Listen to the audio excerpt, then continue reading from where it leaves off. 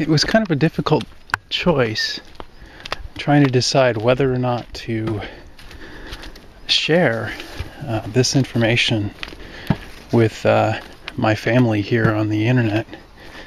And I don't know exactly what will come of this or how this information will be received.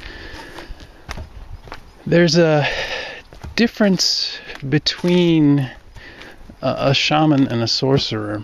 Some people say that the shaman uses his knowledge to benefit the community, and the sorcerer uses the, his knowledge for himself. Yeah, two paths here. Yeah. But there's a bigger there's a bigger issue um, that comes up in my in my understanding of the situation, and that is um, there's another there's another qualification for uh, a shaman.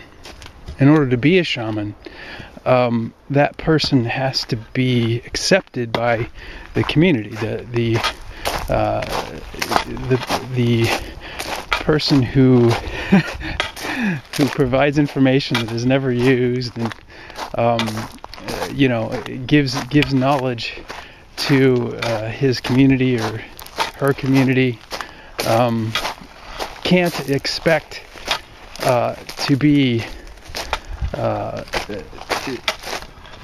you know uh, effective if that community rejects the, uh, the, the what would be the learning or the teaching.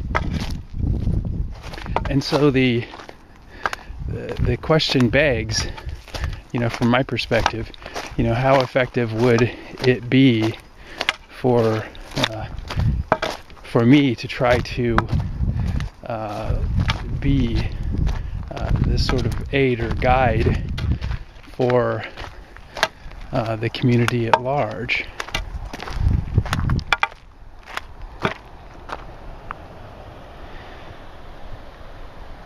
Very foggy today. Very foggy.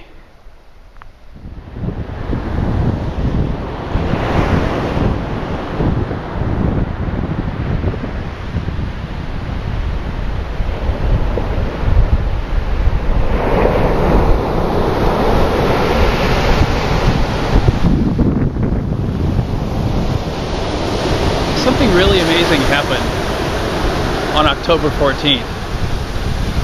And I wanted to try to explain my perspective on this. And I'm reminded of the position of Richard Dawkins, who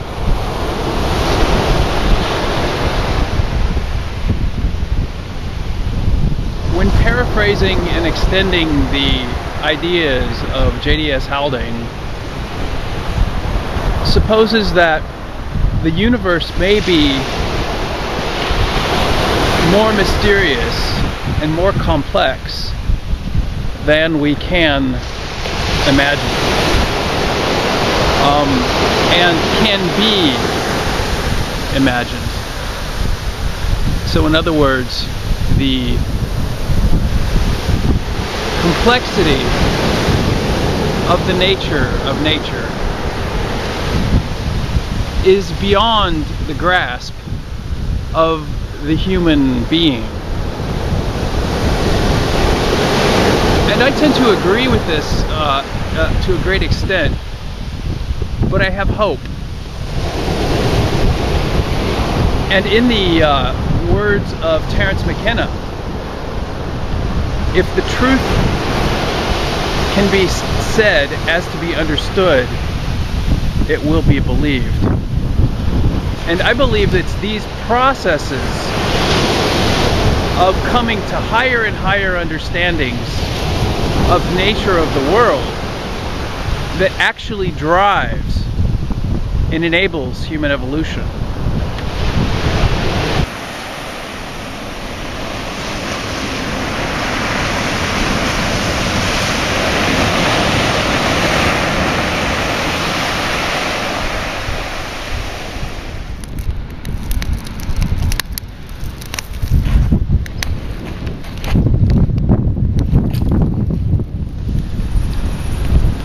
Most of the past four years, I've spent studying the relationship between the earth and the heavens.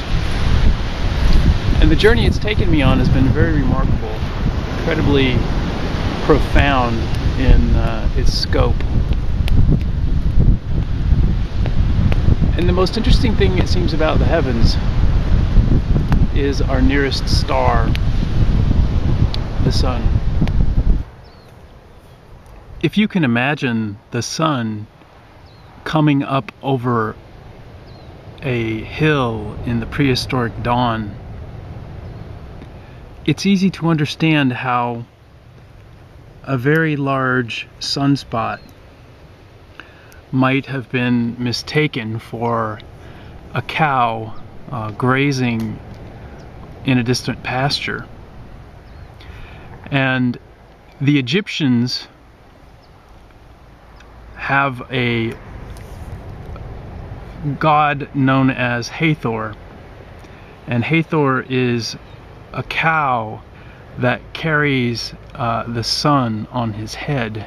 The character is often depicted as coming up from uh, behind a mountain and um, the eye of Hathor, Hathor's eye, is the eye of Ra.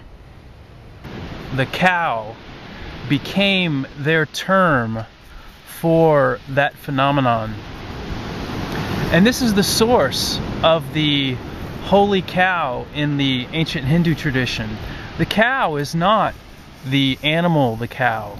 The cow represents this higher order understanding of the nature of the uh, continuity of consciousness, the connection among the rishis of the Vedas that that is manifest through this higher order, higher frequency energy form that appears black to the human eye, to the human visual eye, but that shines through to the eye of the mind, to the mind's eye,